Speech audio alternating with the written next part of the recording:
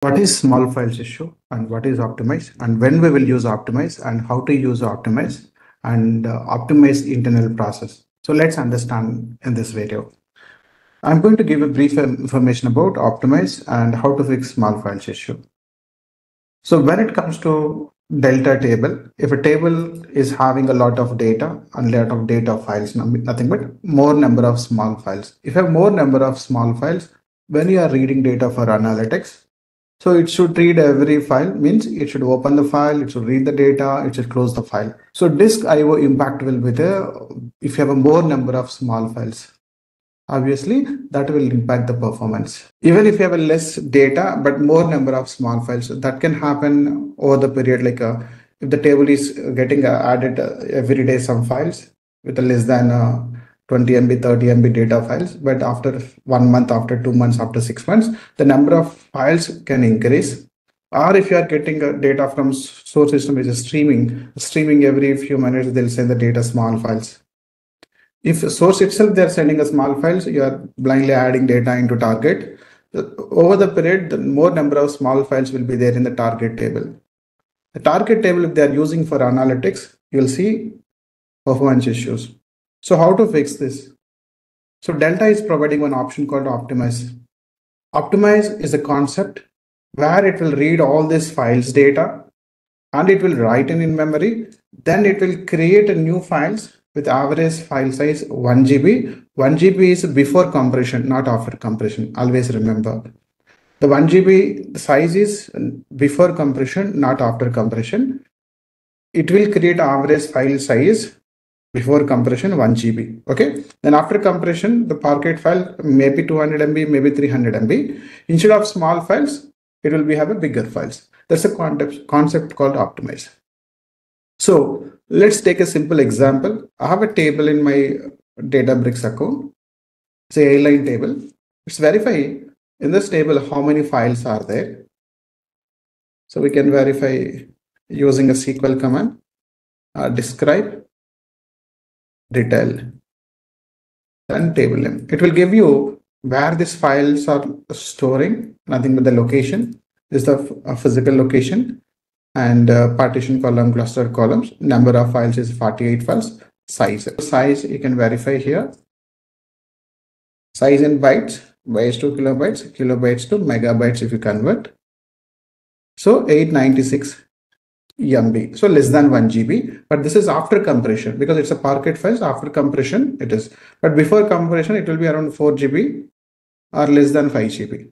So let's what we'll do, we'll run optimize on top of this. Instead of reading of 48 files, whenever we run optimize, whenever we run optimize on top of this table,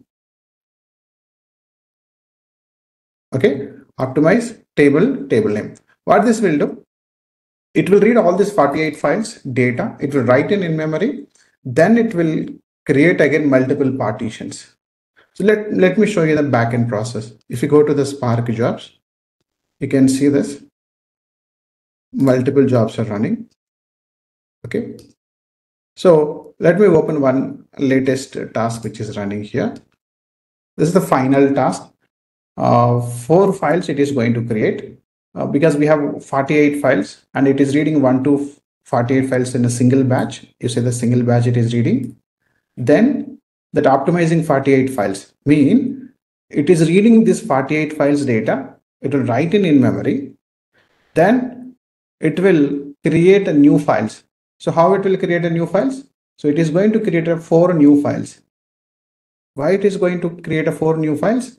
So there is a parameter so that parameter block size, when it is creating a four files, right? How it is creating these four files. So which we can verify this parameter spark dot conf dot get. There's a parameter called spark dot databricks dot delta dot optimize max file size. So this parameter will give you the size in bytes the size in bytes is 1 GB. So this data, entire data, that 48 files data, it will store in, in memory. Then that data will convert into number of partitions. How it will convert into number of partitions? Based on this parameter size. So currently these jobs are running. So that's why it is taking a waiting state. Currently it is creation in progress. After that, even the deleted files will be there in the same location. Even we can go and use a vacuum, vacuum and this table, this table. So retain zero hours. So just we want to clear all the old files, old deleted files. So if you want to delete all old files or you can say deleted files, you can use the vacuum, the table name, retain zero hours. Uh, by default, it will keep that seven days time travel. So we need to disable the parameter. That's a retention duration check parameter will be there. So that parameter we need to disable if you want to remove those deleted files. Now it is removing 48 files and recreating of four files. Now three files already completed, just the last file in progress. Now you can see this, it's removed of 48 files and recreated four files. The size, the total four files size, you can see this. This is the two, four files size. And as I told you, right, so 48 file size created into just four files. Just I'm going to show you bytes, 919 megabytes. This is the default size in bytes, just converted into megabytes. Now, even this is the size parameter value. So 1024 MB is nothing but 1 GB. This the file size is 1 GB. Then even if you go and verify describe detail, you can find only four files. With the latest, you can find only four files. Okay, four files. And the size, table size. This is the table size. Only four files are active files. Remaining all are deleted. You go and verify you can find this. This location you can find a lot of deleted files. Still if you want to keep that you can keep for seven days. Otherwise just go and run vacuum keeping the zero hours. Keeping zero hours is nothing but removing all deleted files all snapshot files. Only four active files. Deleted files we purged or you can say we removed. So how to remove those deleted files? Vacuum. Vacuum retain zero hours means so instead of keeping the snapshot, just we delete the snapshots. So this way, which we can go and use or optimize to remove smaller files and create average file size. Actually, not a file size, a total size. But after compression, it may be less than 1 GB. With the file size, before compression, it will be 1 GB. That's the parameter value. Also, you can verify this. Okay. So this way, which we can go and run optimize command and which it will recreate a new files. It will remove all smaller files. So next time whenever you are reading, it will read only these four files instead of 48 files.